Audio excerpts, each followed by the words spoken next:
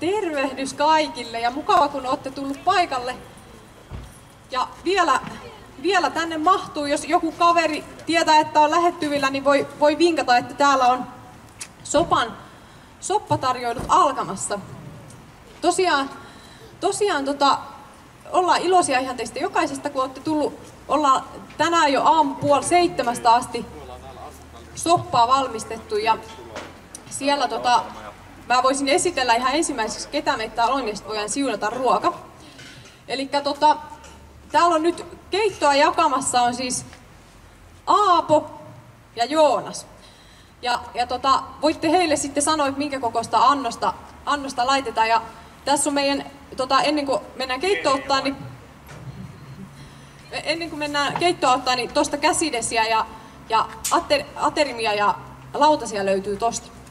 Ja tota, sitten täällä on meillä ollut valmistelemana tiiminä on tuossa tosiaan Armon Kallion omat työntekijät Manu ja Kipa. Ja tota, sitten meitä on ollut täällä hääräämässä myös Saku, Hilla, mä, eli Minttu, ja sitten meidän musatiimi, eli Lauri ja Ville.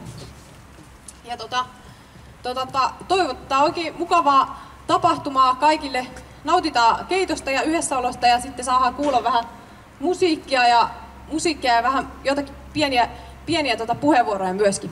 Ja tota, aloitetaan tosiaan keitolla ja sen jälkeen, sen jälkeen tota, on vähän musiikkia ja sitten lopuksi, lopuksi ennen, tota, ennen lope, lop, lop, lopettelua niin otetaan sitten vielä kahvit.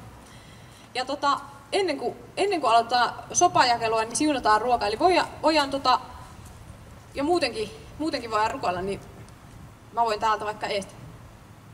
Kiitos Jeesus siitä, että saadaan kokoontua tänne Armon kalliolle ja kiitos, kiitos ihan jokaisesta ihmistä, joka on täällä tänään. Ja jos mä pyydän, että voisit siunata meidän ruoan, niin voisit siunata ihan jokaisen, jokaista täällä olevaa ihmistä. Ja Herra, anna, että saadaan sun hyvyydestä oppia tänäänkin jotain uutta. Siunaa tätä päivää ja siunaa meidän ruoka. Aamen. Yes. Ja nyt ei muuta kuin, muuta kuin tota, sopalle. Sieltä tota, lautasia ja tota, leipää ja mehua ja ei muuta kuin hakemaan sieltä Joonas ja Aapo tarjoilee. Mä annan Joonakselle mikin. Joo, kiitos tosiaan. Ja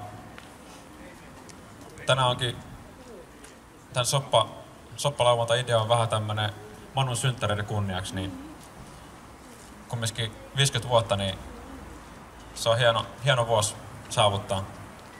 Ja halusin itsekin valmistella tähän pientä puheenvuoroa.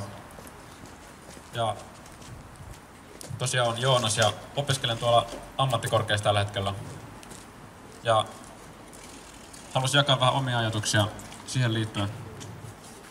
Ja tälle opiskelijaelämässä niin välillä miettii, että mitä hän tekisi aina mikäkin päivä ja mitä hän tänään tekee. Et opiskeleeko tänään, lukeeko kirjaa vai katsoako jotain sarjaa vai käykö tapaamassa kavereita. Ne on kivoja ja hyviä asioita kaikki.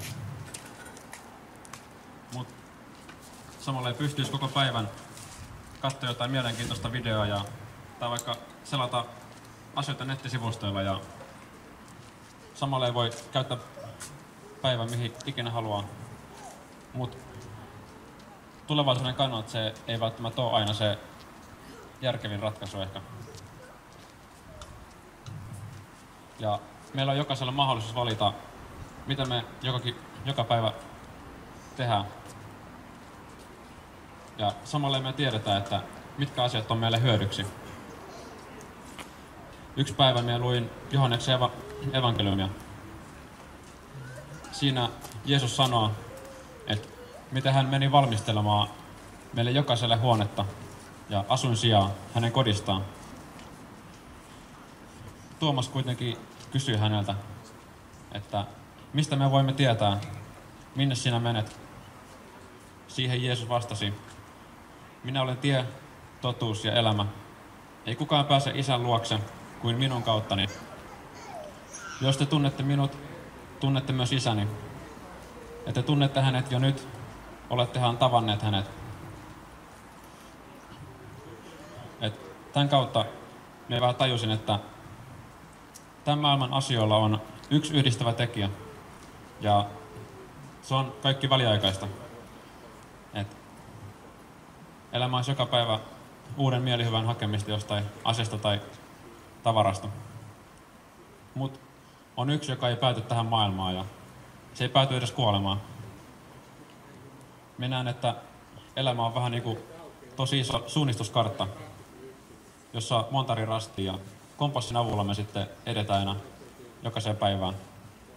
Mutta silloin kun asettaa suunnan kohti Jeesusta, niin on kiinni siinä elämäntiessä.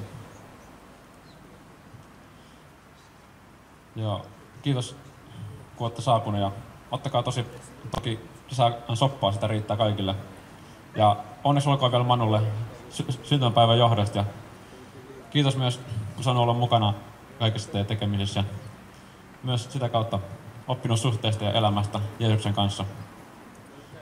Herra haltuu teille ja siunausta. Kiitos Joonas. Kiitos Joonas. Tota, tosiaan nyt ollaan niinku saatukin kokoontua ihan niinku, kun syyspäivät pimenee ja muuta, muuta niin, ja kylmenee, niin on hienoa, hienoa olla koolla tällä lämpimissä merkeissä. Ei edes saa vettä, vaikka vähän lupaili tälle päivälle vesisadetta. Siitä kiitollisilla mielellä. Ja, ja tosiaan voisin vielä kans lukea tähän yhden raamatun kohdan, joka oli myös niissä kutsuissa.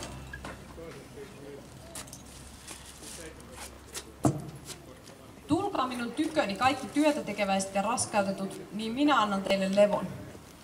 Jeesus todella lupaa, että hän antaa meille levon ja Jeesus on vapahtaja, jo- joka on ainakin omassa elämässä ja myös varmasti monen muun elämässä ollut se, joka on tuonut vapauden ja rauhan myös, myös kaiken ahdistavien tilanteiden keskellä. Ja toivon, toivotaan ja rukoillaan, että mahdollisimman moni, moni myös, myös saisi häntä oppia tuntemaan. Ja sen takia ollaan myös täällä nyt yhdessä koolla jakamassa soppaa, mutta myös, myös sanomaan hänestä. Nyt meillä on täällä kaksi nuorta miestä, jotka on itse asiassa osan biiseistä mahdollisesti tehneet, mutta myöskin muiden, muiden tota, lauluntekijöiden kappaleita saattaa, saatetaan nyt kuulla. He saa kertoa kohta itse lisää. Annetaan, annetaan tota, Lava Ville ja Lateen haltuun. Voitte itse jatkaa.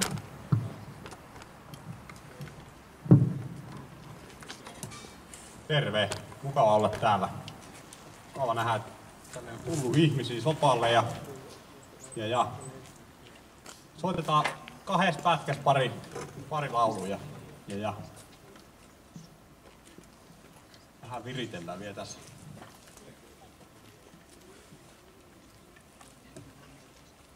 Semmonen bändi kuin The Road on tehnyt semmoisen laulun kuin Tuhlea lapsia. Ja, ja se kertoo siitä, että, että me nähdään maailmassa paljon rikkinäisyyttä, me nähdään paljon vajavaisuutta, me nähdään itsessämme sitä, että, että, että se kaikki hyvä, mitä me haluttaisiin tehdä, niin sitä me ei tehdä, mutta kaikki se paha, jota me ei haluttaisi, niin sitä me tehdään. Ja, ja, ja myös monesti itse olen tähän törmännyt, että, että, me voidaan tehdä hyviä suunnitelmia ihmissuhteissa, me voidaan tehdä hyviä suunnitelmia meidän elämänhallinnan suhteen ja joka, joka asian suhteen, mutta sitten kun toteuttajana on kuitenkin ihminen, niin, niin ne suunnitelmat niin kuin, ei sitten toteudukaan. Ja, ja, ja koska ihmiset on tämmöisessä tilassa täällä maailmassa, koska ihmiset on langennut, niin Jumala on rakkaudessaan lähettänyt Jeesuksen hänen kalliin omaan poikansa.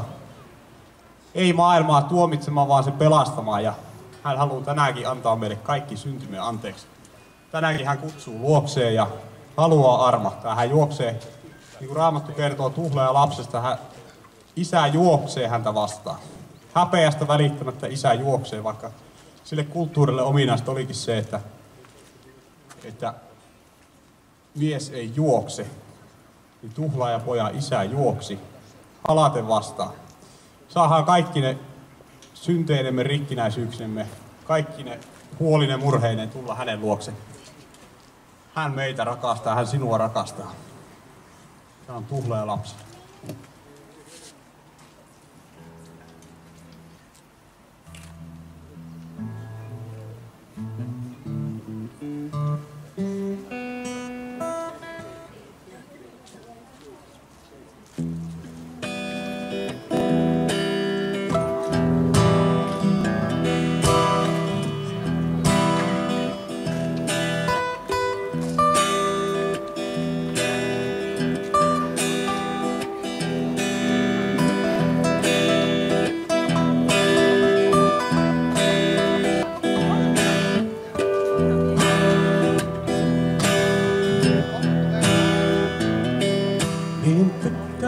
Reissulta kaukaa tuu, minut kutsuit Jeesus, nyt tässä on. Tahdon tuntea sen, kun kosketa, näet tuhlaajan lapsen ja rakastaa. Minä tiesin kyllä, mistä avun saan, vaikka pelkäsin, mitä sanotaan. Hän silmiini katsoi ja hymyili, näki tuhlaajan lapsen ja rakasti uuteen elämään saa. Uuteen elämään tulla saa. Luokse Jeesuksen.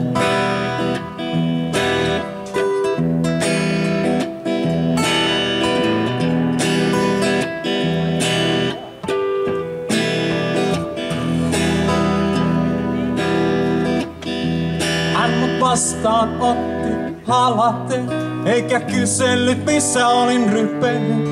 Tervetuloa kotiin nyt iloita, niin tuhlaaja lasta Jeesus rakastaa. Uuteen elämään tulla saa. Uuteen elämään tulla saa. Luokse Jeesuksen.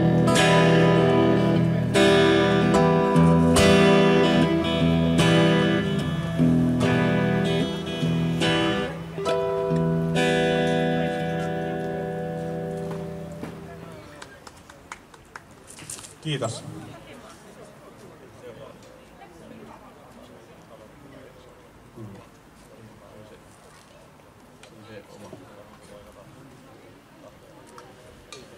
Sitten lauletaan yksi. Mä oon tehnyt semmoisen biisin ja lauletaan nyt, nyt tää oma, oma tekele. Joo.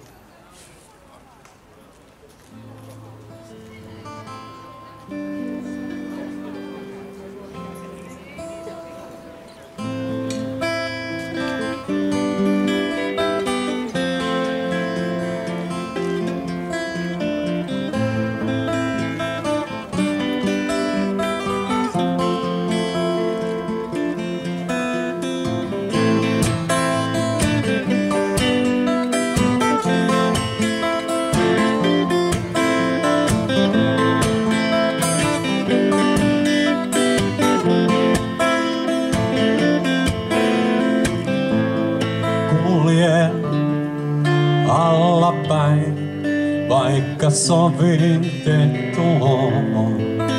Usein taakseni katson, vaikka sovitettu on.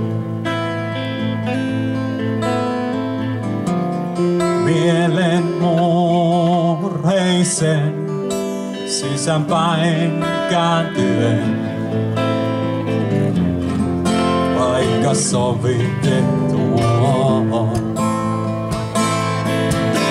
Tahdon tuntea vain Kristuksen ristiinnaulitun. Hän on kaikkien tässä ja tulevassa.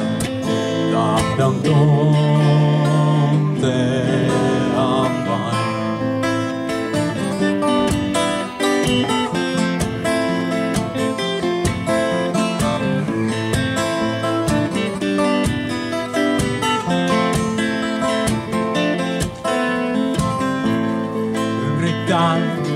ylös ponnistaa, vaikka sovitettu on.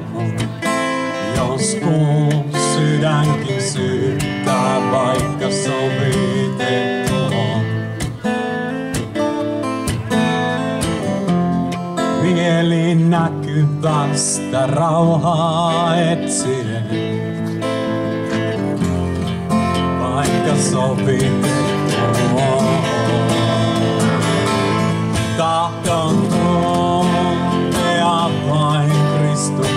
Ristiin naulittuun.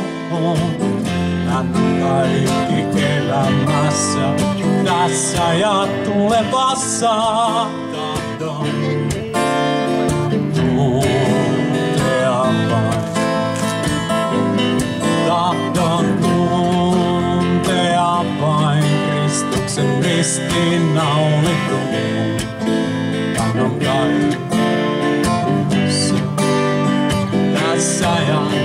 tulevassa.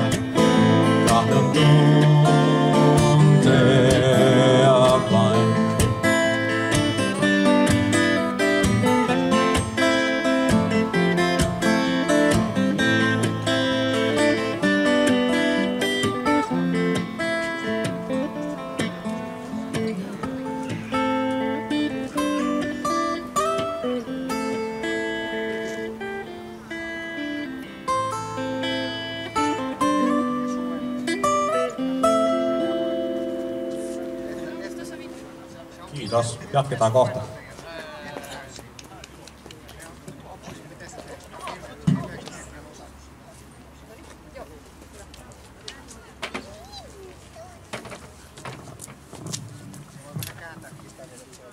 Kiitos Ville ja Lauri. Kohta saahan kuulla tosiaan lisää vähän musiikkia, mutta sitä ennen otetaan taas tämmöinen salama puheenvuoro tähän väliin. Eli nyt mä kutsun tänne mun ystäväni Aapon. Aapo on tosiaan Jos tuut ensi... vähän tänne päin, niin sitten ei lapset Joo. tuu niin paljon kuvaa. Joo. Jos, jos Aapo on tosiaan ensi, ensi, ensi kertaa hänen, hänet tapasin, tai tulin tutuksi lätkäpeleillä Tampereen Sorsapuistossa ja nyt, nyt ollaan tässä tosiaan Lappeenrannassa. Tie on tuonut tänne. Tota, jos, sä, jos sun pitäisi nyt sanoa joku joukkuepelaajan tärkein ominaisuus, niin mikä se olisi?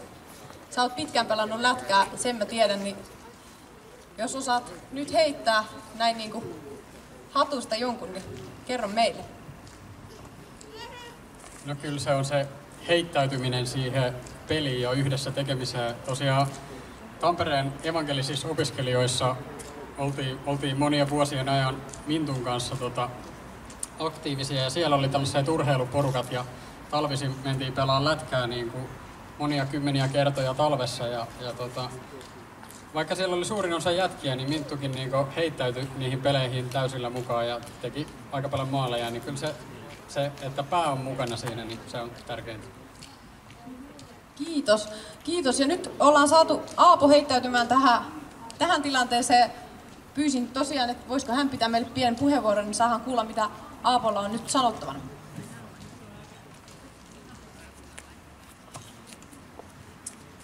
Joo, hienoa olla täällä, täällä tänään Armonkallion pihalla ja, ja tota, nähdä, että teitä on monia löytänyt tänne tiensä kohtaamaan toisiaan ja, ja tota, syömään vähän soppaa ja, ja tota, kuulemaan myös, myös tota, sanaa, mitä meillä täällä on tänään. Toi eräänlainen otsikko tälle tapahtumalle oli laitettu Jeesus maailman valo. Ja tota, mulle tuli, tuli siitä mieleen Johanneksen evankeliumin alku, jossa, jossa tota, puhutaan aika kauniisti siitä teemasta, että, että tota, valo, valo tulee maailmaan. Ja mä, mä luen, luen siitä.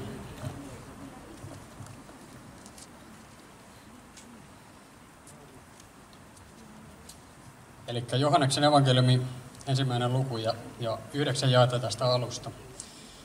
Alussa oli sana, sana oli Jumalan luona ja sana oli Jumala. Jo alussa sana oli Jumalan luona, kaikki mikä syntyi sanan voimalla. Mikään, mikä on syntynyt, ei ole syntynyt ilman häntä. Hänessä oli elämä, ja elämä oli ihmisten valo. Valo loistaa pimeydessä, pimeys ei ole saanut sitä valtaansa. Tuli mies, Jumalan lähettämä. Hänen nimensä oli Johannes. Hän tuli todistajaksi todistamaan valosta, jotta kaikki uskoisivat siihen. Ei hän itse ollut tuo valo, mutta valon todistaja hän oli. Todellinen valo, joka valaisee jokaisen ihmisen, oli tulossa maailmaan. Ja toi on aika hieno aloitus evankeliumille. Valo loistaa pimeydessä, pimeys ei ole saanut sitä valtaansa. Ja todellinen valo oli tulossa maailmaan. Voidaan kaikki, kaikki tota, kokemuksen kautta varmaan ymmärtää, että pimeässä on aika vaikea kulkea. Että pimeässä voisi löytää perille, niin tarvitaan valo. Ja tota, mulle esimerkiksi lapsuudesta muistuu mieleen, on kasvanut tuolla Pomarkussa, se on aika kaukana Lappeenrannasta, Satakunnassa.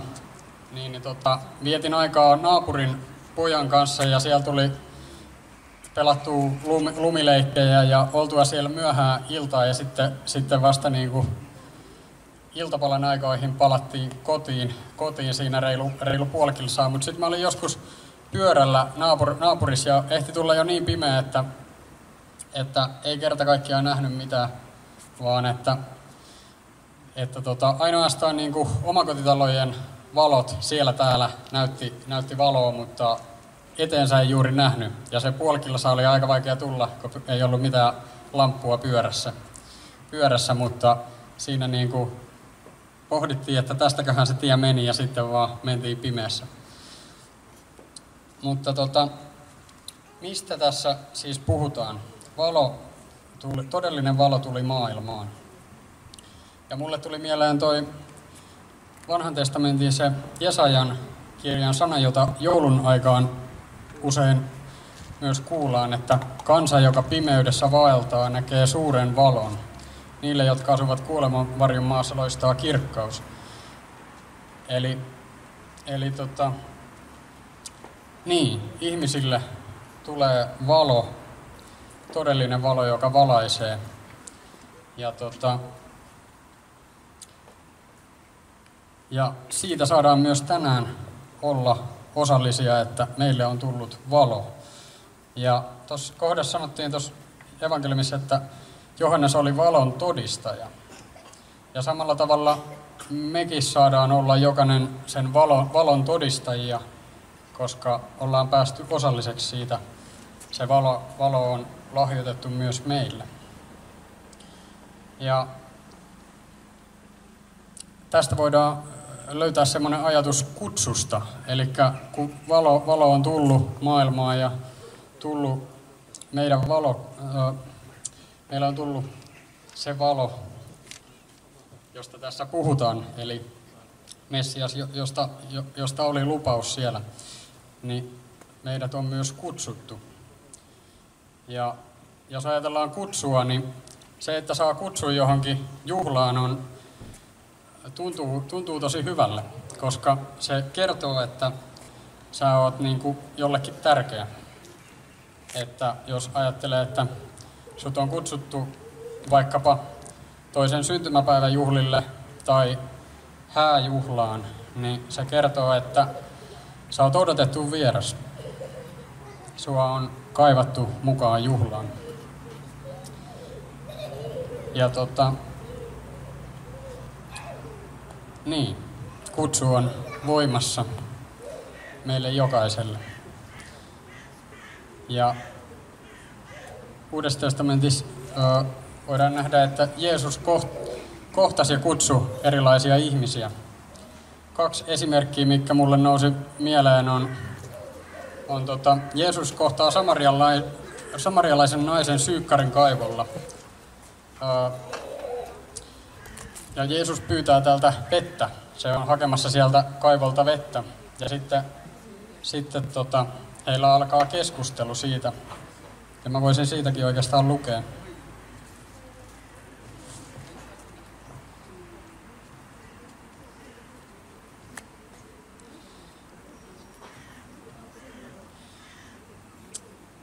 Jeesus vastasi hänelle, joka juo tätä vettä, sen tulee uudelleen jano, mutta joka juo minun antamaani vettä, ei enää koskaan ole janoissaan. Vedestä, jo- jota minä annan, tulee hänessä lähde, joka kumpuaa ikuisen elämän vettä. Nainen sanoi, Herra, anna minulle sitä vettä. Silloin minun ei enää tule jano, eikä minun tarvitse käydä täällä veden haussa.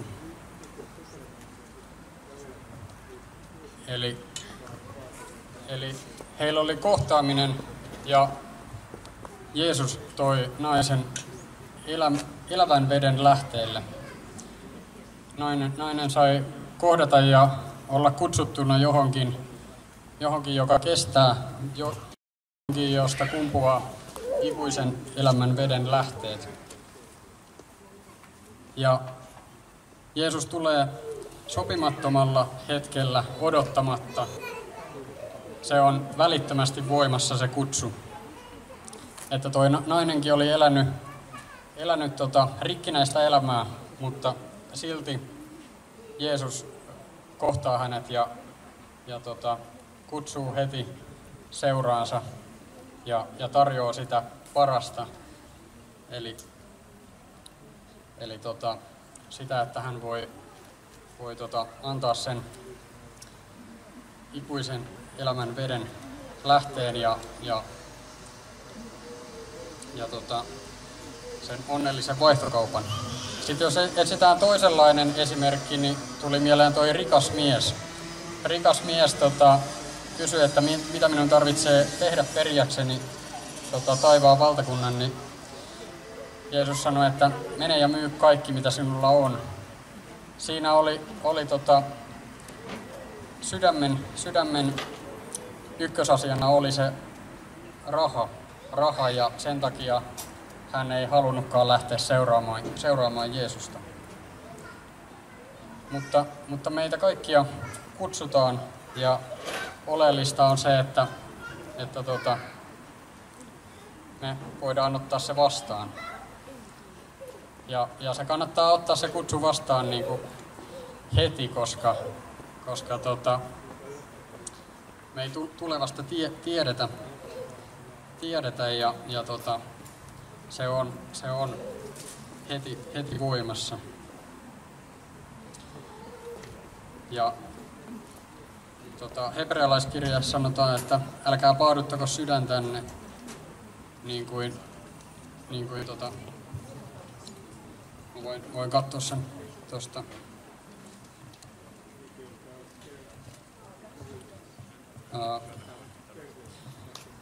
Jos te tänä päivänä kuulette hänen äänensä, älkää paaduttako sydäntänne niin kuin silloin, kun nousitte kapinaan, kun koettelitte minua autiomaassa. Ja näin. Mehän olemme osalliset Kristuksesta, kun vain loppuun asti pidämme kiinni siitä todellisuudesta, jonka yhteyteen jo alussa olemme päässeet.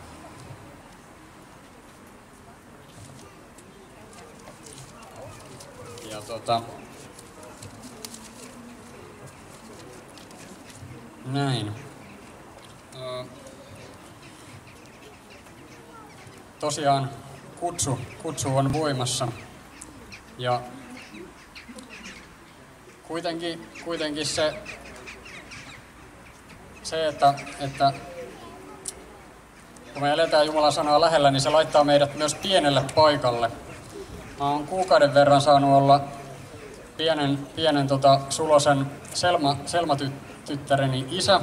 Ja, ja tota, tässä jo tänä aikana on huomannut, huomannut sen, että kuinka, kuinka tota, iso, iso lahja se on.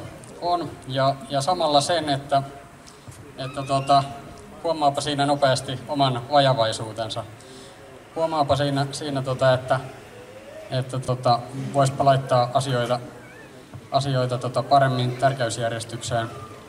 Mulla on ollut, ollut tota, toimittajan kesätöitä ja nyt on opi, opettajaopintoja, niin, niin tota, niissä menee aika ajoin ai, a, jo, jokseenkin paljon aikaa ja, ja saattaa mennä sitten iltaankin vähän hommia, niin sitten saattaakin huomata, että eipä ole, eipä ole tota, tullut aikaa käytettyä välttämättä niin kuin kaikkein arvokkaimpiin asioihin niin kuin olemiseen, olemiseen tota, läheisten kanssa tai, tai tota, sillä tavalla.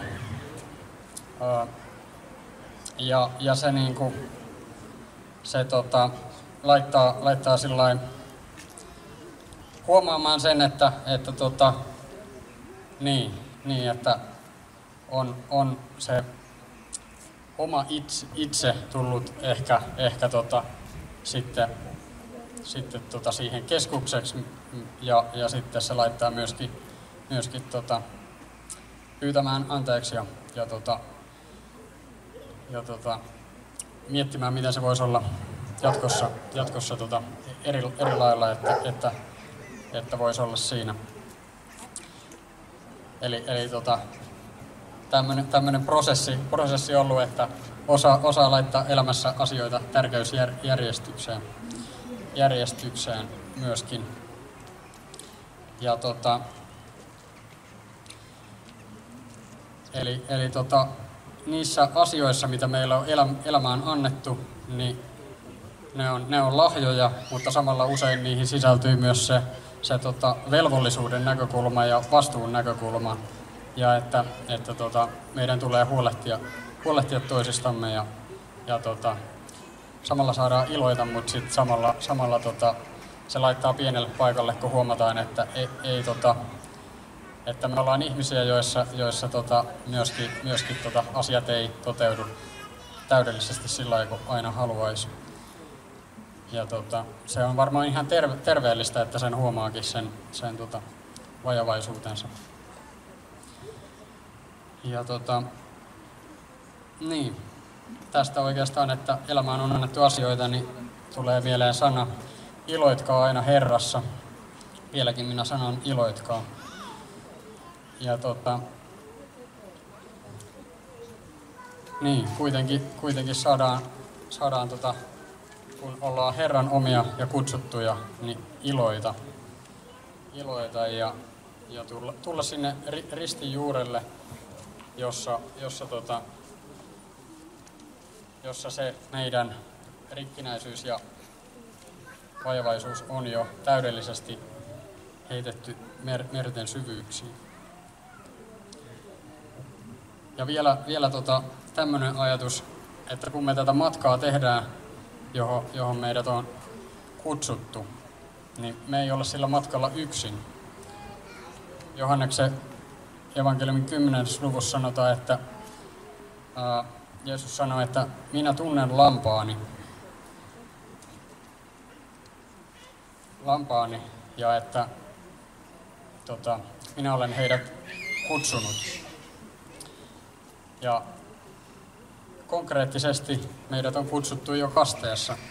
Siellä, siellä tota, meidän nimi on, nimi on taivaan kirjaan lai, laitettu ja meidän otsaan ja rintaan on ristinmerkki laitettu. Ja tota, se, on, se on jotenkin niin kuin hieno, hieno muistutus, että minut on kutsuttu ja sut tunnetaan, tunnetaan. Tai, tai jos, jos näin on, että ei ole vielä, vielä tota, niin kuin, ei ole vielä niin kuin, tai jos niin kuin kutsu, kutsu kolahtaa nyt ensimmäistä kertaa, niin si, siltikin sinua kutsutaan, kutsutaan tota, valon, valon seuraajaksi ja valon osallisuuteen. Ja, ja tota, riemuitsevaan joukkoon. Ja tota,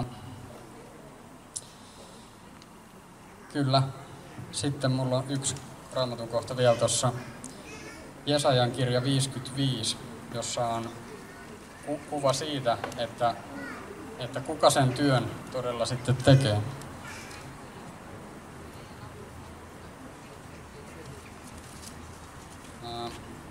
Niin kuin sade ja lumi tulevat taivaasta, eivätkä sinne palaa, vaan kastelevat maan, joka hedelmöityy ja versoo ja antaa kylväjälle siemenen ja nälkäiselle leivän, niin käy myös sanan, joka minun suustani lähtee. Se ei tyhjänä palaa, vaan täyttää tehtävän, jonka minä sille annan, ja saa menestymään kaiken, mitä varten sen lähetän. Elikkä, elikkä tota,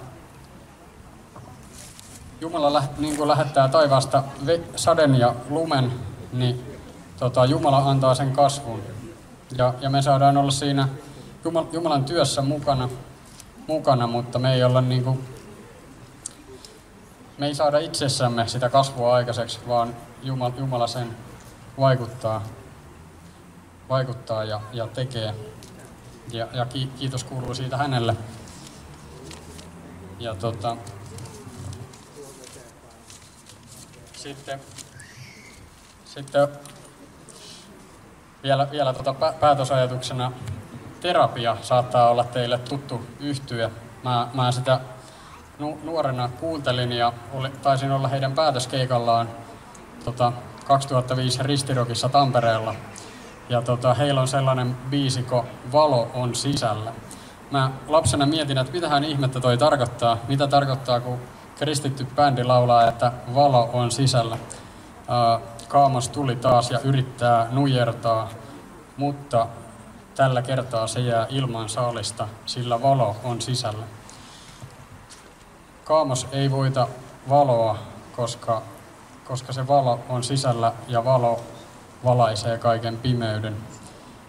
Eli kun Jeesus on sydämessä, kun, kun tota, sulla on paimen, hyvä paimen, joka, joka tota, on, on elämän herrana ja suunnan näyttäjänä, niin silloin mikään pimeys ei voi ottaa sitä valtaansa.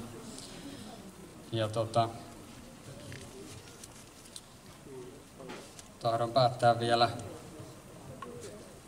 Johanneksen evankeliumin tähän, tähän alkuun, alkuun, josta myös aloitin. Ää, Sana tuli lihaksi ja asui meidän keskellämme. Me saimme katsella hänen kirkkauttaan, kirkkautta, jonka isälle ainoalle pojalle antaa. Eli me saadaan katsoa sitä kirkkautta, koska se on tullut meidän keskellämme. Ja, ja se loistaa kirkkaana ja saadaan siitä joka päivä iloita ja tehdä matkaa, matkaa sinne kotiin, kotiin jonne me, meidät kaikki on kutsuttu. Kiitos Aapo hyviä, hyviä monipuolisia ajatuksia.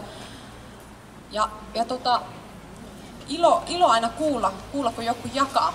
Tota, täällä on tosiaan vielä keittoa, soppatykki, soppatykki puolilla, joten jos vielä santsikierros maistuu, niin, niin täällä on luvassa. Seuraavaksi katetaan pöytään kahvit, joten kohtaan pulla ja kahvia, kahvia tarjolla ja saadaan vielä, vielä tota, sitä ennen, joo, sitä ennen saahan kuulla Latelta ja Villeltä vähän musiikkia. Nyt tosiaan täällä soppatykin vieressä on tuommoinen laatikko, missä on kirjoja, jotakin lehtiä ja muuta. Jos, jos haluat käydä siitä ottamassa itsellesi lukemista mukaan, niin ota. Ne on ihan sitä varten siinä. Ja saa ottaa useammankin ja saa ottaa kaverille kanssa, jos jotakin semmoista löytyy, mikä mukaan voisi lähteä. Mutta nyt tosiaan samalla kun kahvi, kahvi siirtyy pöytään, niin, niin tota, nautitaan musiikista ja sen jälkeen sitten otetaan kuppasta kuumaa.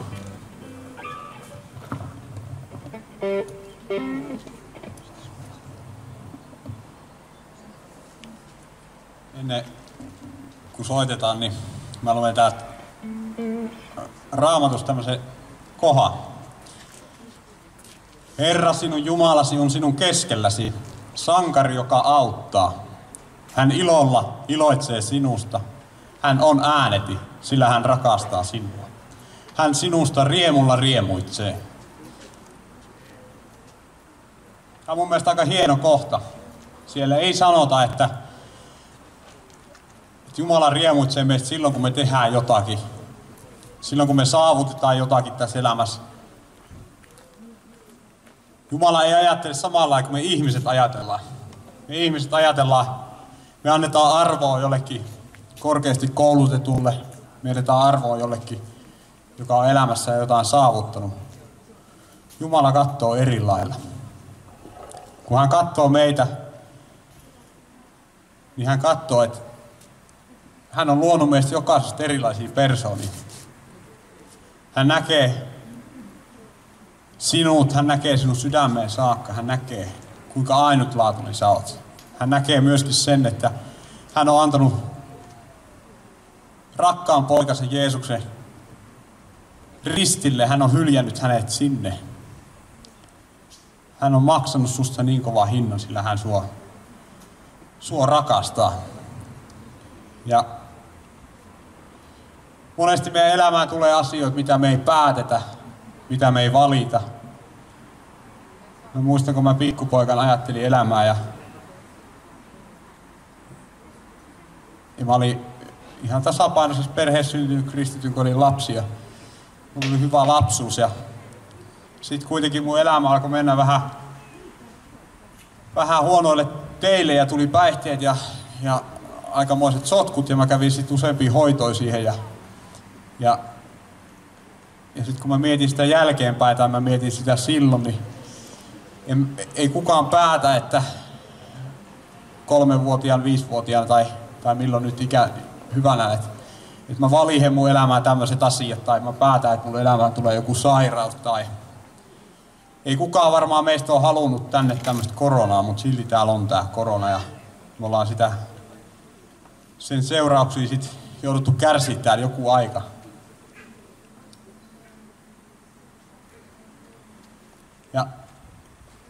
On hyvä muistaa, että ei Jumala halua meitä kiusata, vaan hän haluaa meidät pelastaa. Hän haluaa vie sinut, minut, hän taivaan kotiin. Hän on tehnyt kaiken valmiiksi.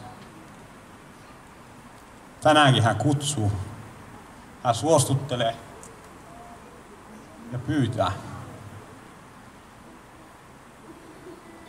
Mä muistan, kun mä olin kerran, mä olin saanut raittiuden ja mä olin sitten Jyväskylässä juna-asemalla ja sinne tuli yksi semmonen mies ja se mies kysyi multa, että otatko ryypyjä.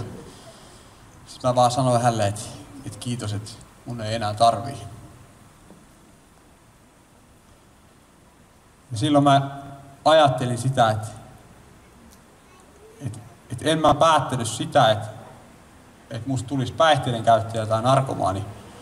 Mutta en mä myöskään silloin, kun mä olin niiden orjeli päättänyt sitä, että mä halusin raitistua. Vaan se oli yksi Jumalan armo. Ja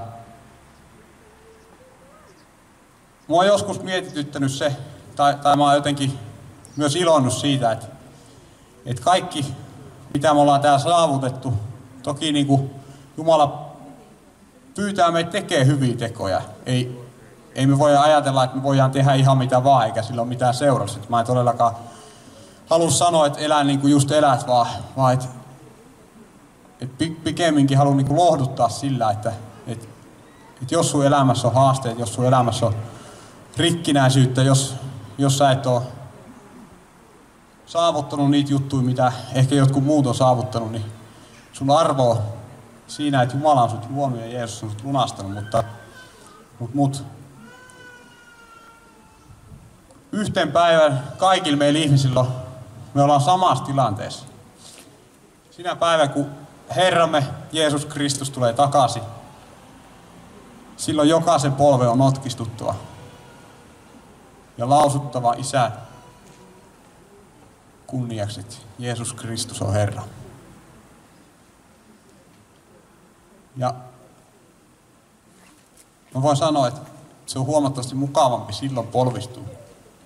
Vaikka mä en ole elänyt sitä hetkeä, mutta mä, mä ainakin olen aika sata varma siitä, että, että kun me täällä polvistutaan hänen eteen, niin silloin se on riemullinen kohtaaminen. Ja mä toivon ja rukoilen sitä, että myöskin jokainen teistä ja meistä saisi olla kerran perille taivaan kodissa.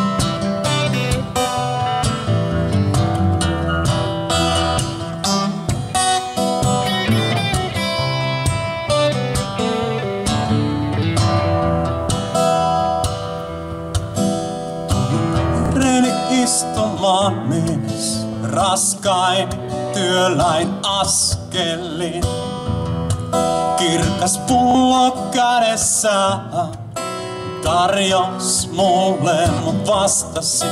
Herra armahti toivottomaan. Tän laulun armosta tahdon laulaa, miten kaipaan sun luoksesi. Missä tän ajan maine ja kunnia on pyyhitty iäksi pois.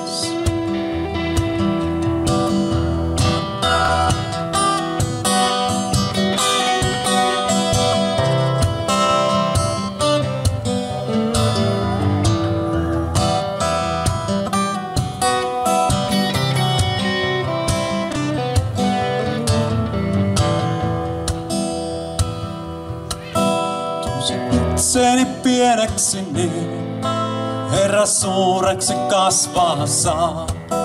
Haluton sekä ylpeä mieleni tee sinun käyttöön, jos tahdot niin.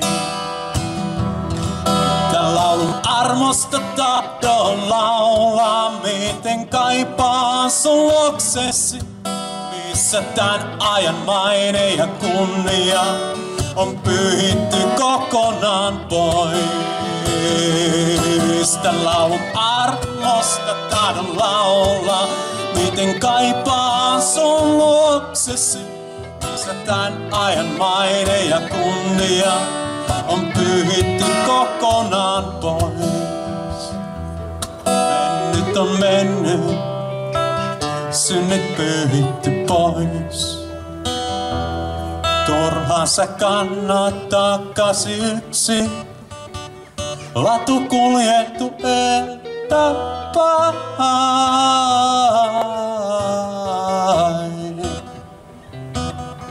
Tän laulun armosta tahdon laulaa, miten kaipaa sun luoksesi. Missä tän ajan maine ja kunnia on pyyhitty kokonaan pois. Armosta tahdon laulaa, miten kaipaa sun luoksesi. Missä tän ajan maine ja kunnia on pyyhitty kokonaan pois.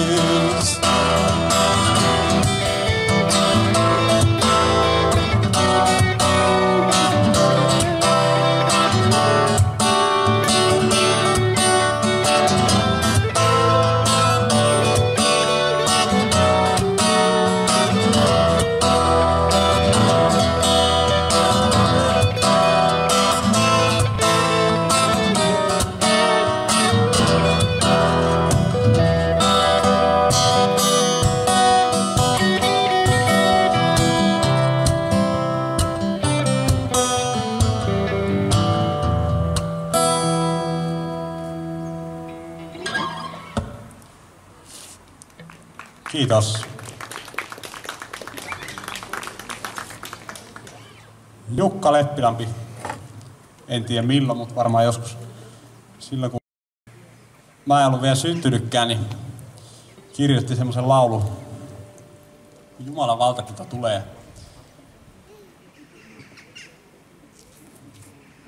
Ja se on totta. Jeesus tuli tänne maan päälle, niin niin Jumalan valtakunta tuli lähelle. Ja Jumalan valtakunta tuli Kristuksessa, Jeesuksessa, laskeutui tänne maan päälle. Jeesus kuollessaan voitti synni, kuolema ja perkelee. Ja hän sanoo opetuslapsille, että rauha teille. Hän sanoo tänäänkin meille, että rauha teille. Hän sanoo, että hän antaa rauhan, ei sitä rauhaa, jonka maailma antaa, vaan oman rauhan hän meille lahjoittaa. Jeesus ei siis sano, että etteikö täällä maailmassa voisi olla jotakin rauhaa, vaan hän nimenomaan tunnustaa sen, että täällä maailmassa on myöskin asioita, jotka voi saada meidät kokemaan ainakin jonkunlaista rauhaa. Monesti valhe on ainakin semmoinen, mikä, millä me saadaan, saadaan niin kuin itsemme rauhallisiksi. Mä juttelin eilen yhden ystävän kanssa puhel, puhelimessa aika pitkän puhelun ja sitten hän kertoi jostain kaverista, joka oli maksanut. Hän oli musatyyppiä kiertänyt pitkin maailmaa, niin hän maksoi jollekin, kun hänellä oli niin kovat pelkotilat, että, että, että joku ihminen sanoi hänelle, että et sä kuole. Ja sitten kun tämä oli jossain vaiheessa tää sen palkattu ihminen sanonutkin, että kyllä sä jossain vaiheessa kuolet, niin se oli antanut potkut sille. Ja tämä oli tämmöinen yksi tarina, tarina siitä, että, että, että mitä, mitä tavallaan, me kuitenkin haetaan sitä rauhaa, me haetaan sitä monista asioista. Me voidaan hakea päihteistä, me voidaan hakea puhelimista, me voidaan hakea ihmissuhteista, ihan joka paikasta, mutta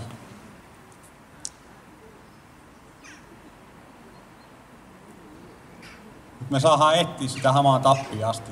Yksi Kristus voi lahjoittaa meille rauha. Hän antaa meille synnit anteeksi ja me saadaan todellinen rauha. Me saadaan jo nyt elää sitä iankaikkista elämää ja odottaa sitä, kun Jeesus tulee hakemaan omia, missä ei ole enää itkua, ei murhetta, ei kyyneleitä. Kaikki tämä maailman murheet ja jutut on mennyt. Jumalan valtakunta tulee.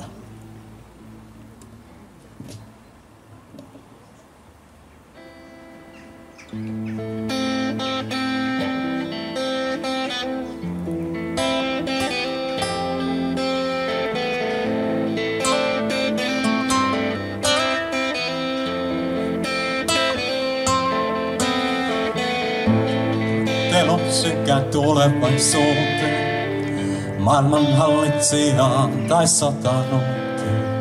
Silloin muista, että ainoa valta, joka tulee jäädäkseen, on kaikki valtia. Synti yritys on mahdottomuuteen. Sitä tehdessämme rangaistus on jo. Kun hiekka silmässä tai syöpä ruumiissa, niin synti sielussamme olemme tuskissa. Jumalan valtakunta tulee.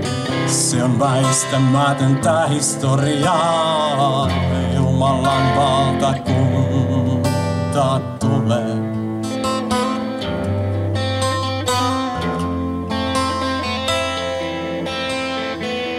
Kotimaasi Jumalan valtakunta. Usko siihen palu ei unta.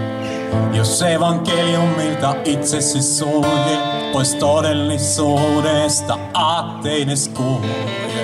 Itseäsi toteuta on päämäärä, joka elämäsi ei voi jäädä.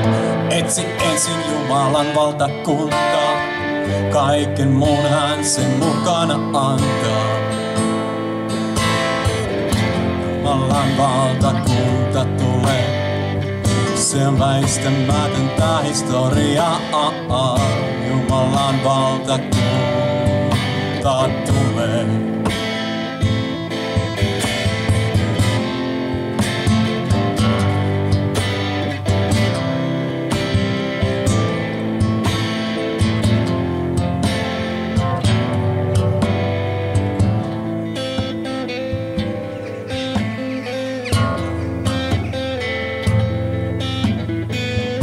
Läpi raamatun kuin punainen lanka löytyy veron tahto rauhattomuuteen tule rauha.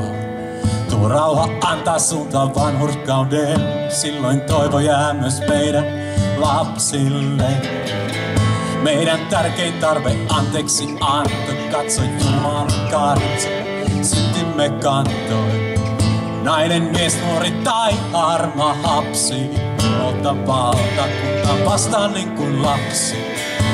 On pakko, ei on se kestä. on kaikki sest, sit ei voi estää. Rakkaus, oikeus, kaikki lainalaisuudet, pois kolme yhteises, Jumalassa juure. Koko ihmiskunta totusta koskee, ei ateismi Jumalaa kai olemattomaksi tee. Ei oo kaukanaan yhdestäkään meistä, jokainen saa kerran äänen edessään seistä. Jeesus Kristus on Herra, Herra, ja joka kieli tunnustaa ja hän tulee. Jumalan valtakunta tulee. Jumalan valtakunta tulee. Se on väistämätöntä historiaa.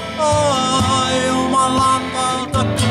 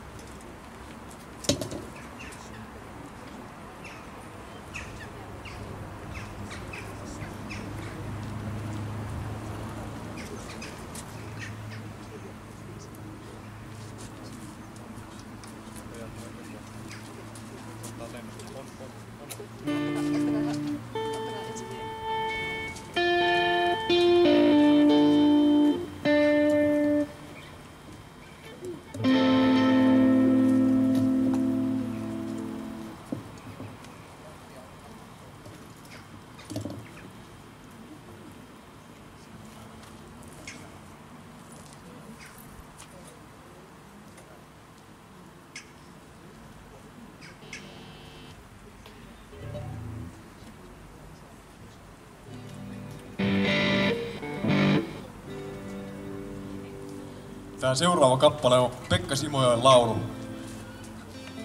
Tän nimi on tä... Katsokaa voittajaa.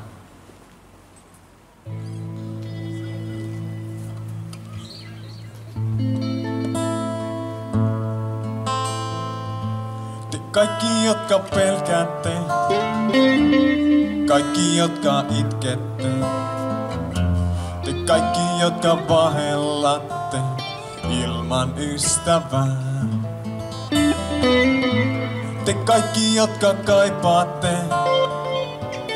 kaikki, jotka etsitte, te lohdutuksen kerran saatte.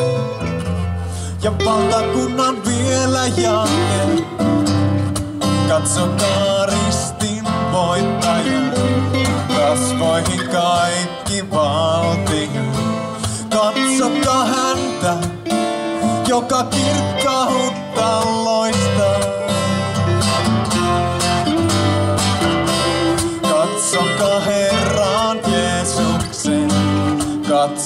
suureen rakkauteen. Katsokaa häntä, joka syndin valhan poistaa.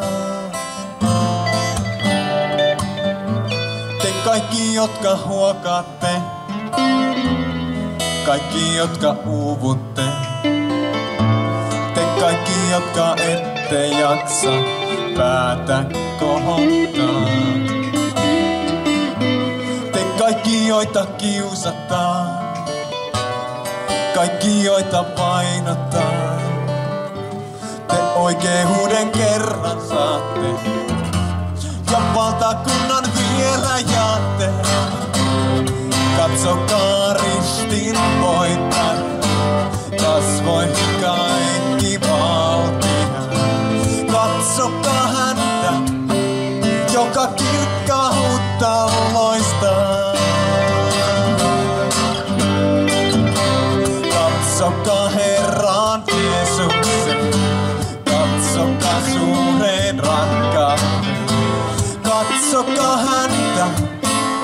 suureen rakkauden. Katsokaa häntä, joka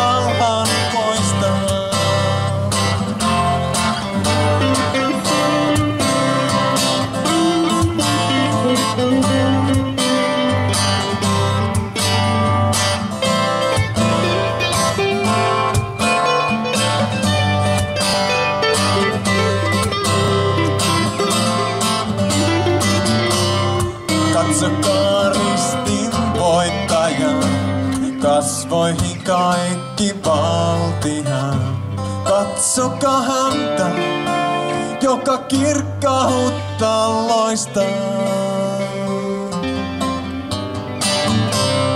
Katsokaa Herran Jeesuksen, katsokaa suuren rakkauteen. Katsokaa häntä, joka syndin pahan poistaa.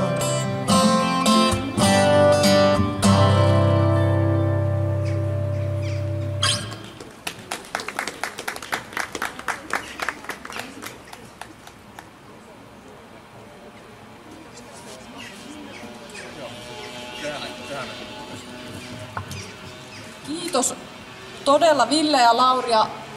Kiitos myös omakohtaisista kokemuksista, mitä Late jaoit. Tosiaan täällä on nyt kahvit katettu pöytään, eli nyt olisi pullakahvi tarjoilu. Täällä kipa tarjoilemassa. Nyt jos vielä jäi nälkä, hernekeitolla jos tarve, niin sitä tuolla tykissä on, kun vaan pyytää. Ja, ja tota, täältä voi tulla hakemaan kahvia ja sen jälkeen sitten otetaan vielä, vielä tota Manun päätös, päätöspuheenvuoroa ja ehkä saadaan kuulla vielä joku biisi, jos, jos saadaan nuo musamiehet vielä tähän heitettyä tähän lavalle. Niin, mutta nyt, nyt ei muuta kuin kahvia ja, kahvia ja pullaa. Olkaa hyvä.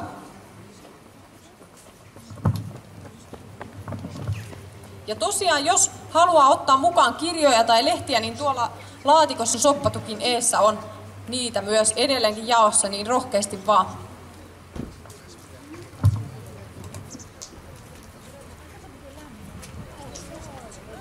Ja tota, täällä tosiaan Armonkalliolla toiminta pyörii viikoittain. Maanantaisin on leipäjakelu ja sunnuntaisin on Jumalan palvelusta ja olette lämpimästi sinne tervetulleet.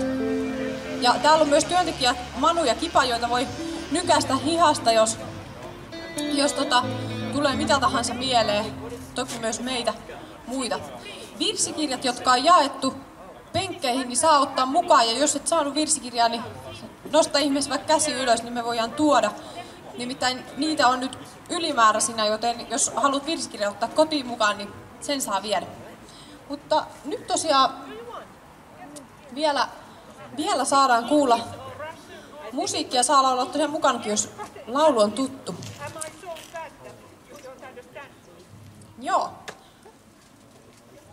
Mitähän muuta? Jos, jos on esimerkiksi mielessä vielä joku ystävä, joka, jolla voisi olla nälkä, joka tarvitsisi soppaa, niin voi kutsua vaikka pienen rasian kanssa käymään, niin tästä voi laittaa mukaan. Tai sitten voi ottaa ihan lautaselle. Saadaan kaikki keitto jaettu. Mutta mä annan nyt mikin tänne, niin kohta saadaan vielä viimeiset laulut kuulla.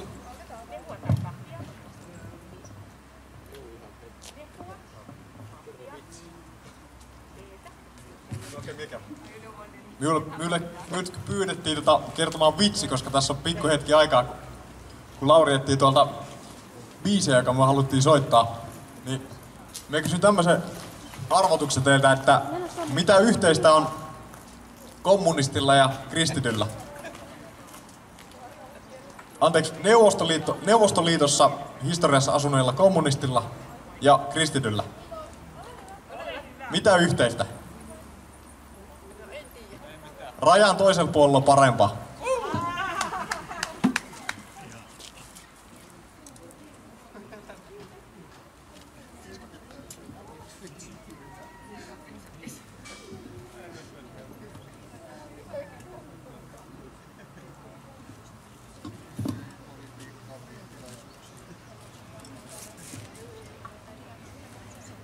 Se on lohduttavaa tietää, että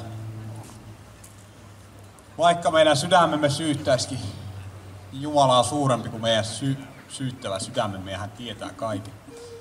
Näin raamattu meille vakuuttaa ja sen saat uskoa tänäänkin omalle kohdalle.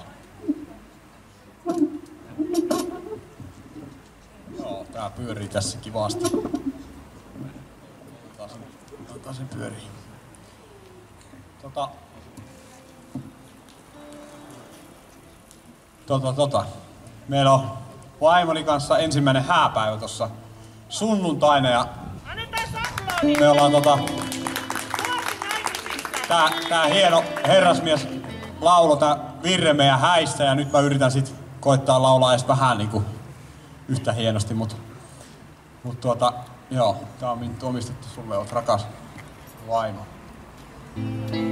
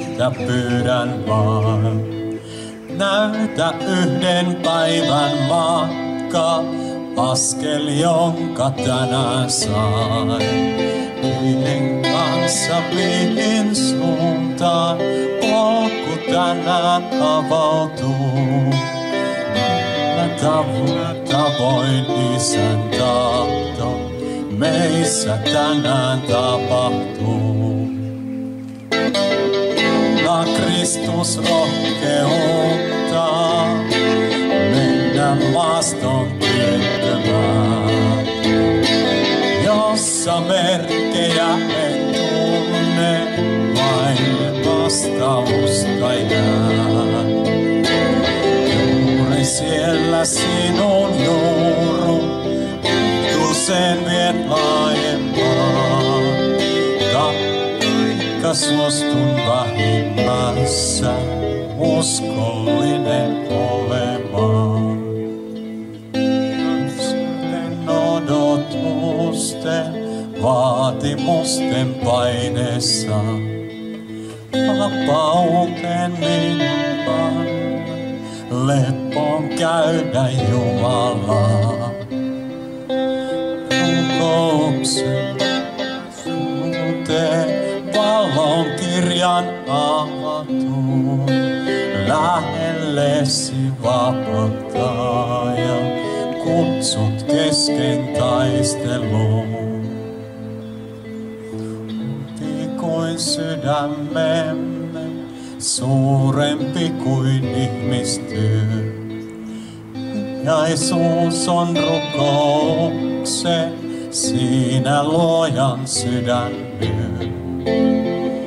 Minä itse armon henki, uupunutta uudistaa. Annat kasvullemme aikaa, uuteen työhön valmistaa.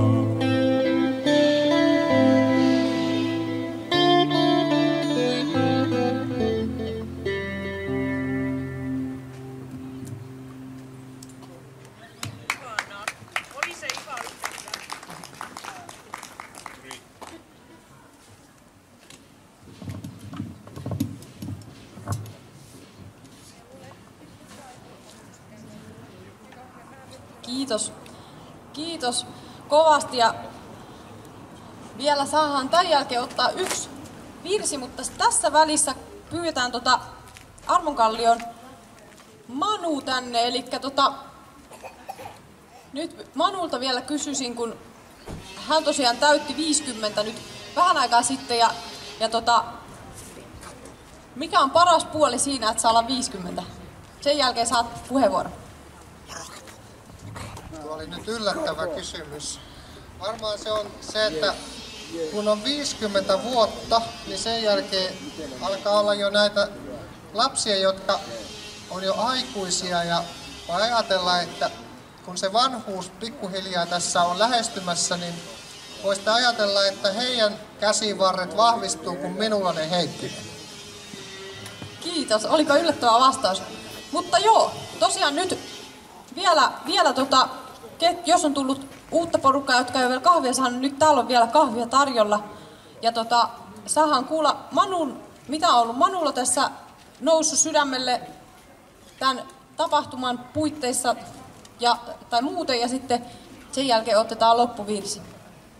Ja kiitos kaikille, jotka olette ollut paikalla ja siunausta oikein kovasti jokaisen tähän päivään ja, ja viikkoon ja kaikkeen muuhunkin tekemiseen. Hyvä. Kiitos. Olkaa hyvä, käykää ottamaan, jos maistuu. Tässä on pöytä. No niin, tervetuloa, welcome. Äh, kiitokset, ketkä olette olleet tätä tapahtumaa järjestämässä. On ollut mukava, että tämä nuori polvi on, on järjestänyt tämmöisen tapahtuman. Tätähän ei ole ilmoitettu missään ilmoituksissa, koska tämä oli yllätys. Tämä tuli yllätyksenä itsellenikin ja sen takia sitä ei sitten ehditty oikein missään ilmoittaakaan. Mutta oli kiva, että järjestitte. Voin kertoa vähän taustaa tässä. Tosiaan nyt on tämmöinen aika, että on tätä koronavirusta jyllännyt pari vuotta ja jo muutama vuosi sitten minulla oli sellainen haave, että jos minä joskus täytän 50 vuotta, niin järjestetään oikein isot juhlat. No sitten tuota, sitten tuli tämä koronavirus, niin kuin tiedätte, eikä oikein mitään isoja juhlia ole saanut järjestää. Ja sen lisäksi vielä nyt menneenä vuonna tuli meidän perheeseen surua. Oma äitini nukkui pois ja sitten siskoni mies 42-vuotiaana menehtyi tässä viime kesänä. Ja kun sitten tämmöisiä asioita, tämmöinen virus, joka on vähän rajoittanut juhlimista ja sitten vielä suru, suruviestejä tuli, niin minä ajattelin, että minä tajan nyt jättää nämä omat juhlani väliin, enkä minä sitten mitään järjestä. Mutta nämä nuoret ajatteli, että, että järjestetään kuitenkin tämmöinen tapahtuma, missä voidaan todistaa Jeesuksesta ja laulaa hengellisiä lauluja, koska asiahan on niin, että ne parhaat juhlat on siellä taivaassa. Ja sinne itse asiassa nekin pois nukkuneet rakkaat, kun he Jeesukseen on saaneet turvautua elämässään, niin sinne juhlaan he on menneet jo eeltä päin. Että nämä kaikki juhlat, mitä me täällä suunnitellaan ja vaikka ne peruuntus, niin se ei, se ei oikeastaan haittaa mitään, koska siellä, siellä taivaan kodissa meillä on ne odottamassa ne varsinaiset, varsinaiset juhlat. Niin Raamattu lupaa jokaiselle, joka joka Jeesukseen uskoo. Ja vaikka minulta harmitti, että mien voi järjestää nyt semmoisia isoja juhlia, ainakaan sellaisia, missä se oma äiti ja siskon mies voisi olla mukana, niin minä voin lohduttautua sillä ajatuksella, että siellä kerran siellä suurissa juhlissa, taivaan juhlissa, he on kaikki mukana. Siellä me saadaan kaikki olla yhdessä Jeesuksen kanssa ja iloita yhdessä niidenkin kanssa, jotka on nyt jo muuttaneet tästä ajasta sinne iankaikkiseen valtakuntaan. Ja kun sinne katsoo, niin tulee semmoinen iloinen mieli. Vaikka tämän ajan juhliin sekoittuu ikävää ja kyyneleitä ja kaipausta, niin siellä ne kaikki on pyyhitty pois. Näin Raamattu meille sanoo. Luen täältä ilmestyskirjasta luvusta 21. Jumalan sanaa. Ja minä kuulin suuren äänen valtaistuimelta, sieltä Jumalan istuimelta sanovan. Katso Jumalan maja ihmisten keskellä, ja hän on asuva heidän keskellänsä, ja he ovat hänen kansansa, ja Jumala itse on oleva heidän kanssaan, heidän Jumalansa. Ja hän on pyyhkivä pois kaikki kyyneleet heidän silmistänsä, eikä kuolemaa ole enää oleva, eikä murhetta, eikä parkua, eikä kipua ole enää oleva, sillä kaikki entinen on mennyt. Näin hieno näkymä meillä on siellä taivaan kodissa, kun me Jeesukseen turvaudutaan ja laitetaan uskossa häneen kaikki se, kaikki se toivo, usko toivo häneen ja hän täyttää lupauksensa Jeesuksen tähden ja vie meidät sinne perille kerran taivaan koti. Siellä ei ole enää kyyneleikä eikä murhetta ja siellä me ollaan kaikki yhdessä. Tänne, näihin juhliin me ei kaikki voida kokoontua, mutta sinne taivaan juhliin kaikki on kutsuttu. Kenellekään Jeesus ei sano, että, että ei saa tulla, vaan jokaiselle hän sanoi, että tulkaa minun luokseni. Ja jokaista, joka minun luokseni tulee, niin ketään minä en heitä pois. Näin Jeesus meille ojentaa niitä ristillä lävistettyjä käsiä ja se ovi on nyt auki. Sitä päämäärää kohti saahan olla matkalla. Jäähän Jumalan hyvin käsi ja siihen liittyen esitin toivelauluksi virren 338, se taisi olla se numero. Ja teille on jaettu niitä virsikirjoja ja saatte ne omaksi, jos haluatte. Tämä on sellainen syntymäpäiväjuhla, että täällä saa jokainen lahjaksen virsikirjan, jos haluaa. Eli halutaan antaa lahjaksi. Lahjaksi me ollaan ne saatu ja lahjaksi me ne haluttaisiin antaa. Ja se on tämmöinen armonkallion periaate. Me saadaan täällä kaupoista ruokatarvikkeita ja ne me halutaan antaa eteenpäin. Joku on saattanut olla tässä joskus mukana ruoan jakelussa tai vastaanottamassa. Lahjaksi saadaan, lahjaksi annetaan ja lahjaksi ollaan saatu hyvä sanoma Jeesuksesta ja sitä halutaan myös lahjaksi ilmaiseksi kuuluttaa. Käydään tähän lauluun ja taivaan isän hyvän siunauksen alla. Herramme Jeesuksen Kristuksen armo, Isä Jumalan rakkaus ja Pyhän Hengen osallisuus olkoon kaikkien meidän kanssamme. Aamen. Siellä varmaan tarvitsee tätä laittaa. Se helpottaa laulamista. Thank you.